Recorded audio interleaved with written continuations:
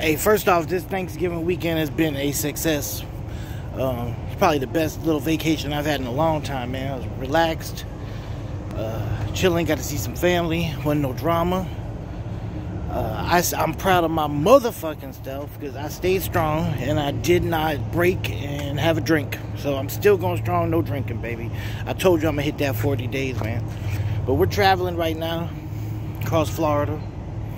Um, I don't say big blessings to everybody, man. Uh, keep the keep the vibe alive, keep it going, man. Everything's lovely and beautiful, and fucking just positivity flowing through me like a motherfucker. But on that note, let me catch y'all up to date. If you ain't seen the short, let me tell you how the the funny money thing worked out, right? So it was real money. You know what I'm saying? It was just old, and you got these young ass, you got these 19 year old cashiers that never even seen that shit. They didn't even use a little, you know, those little pens to market. They didn't use that.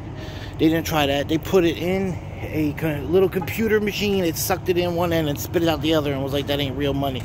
Um, they need to train these folks better, man, because it was real money.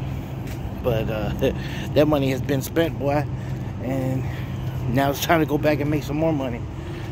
Laden, baby. That's the rest of.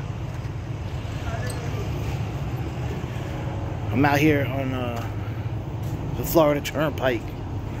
But we cutting across the street, man. But really, the whole reason I came up here is to let everybody know we doing good. Everything's a big blessing. I know there was motherfuckers out there taking bets, thinking I wasn't gonna make it through Thanksgiving because they know how my family do. But uh, yo, big surprise. My whole family was very supportive. Most of them said, "Hey, we're gonna drive, go drive with you too," you know. So it was cool, man.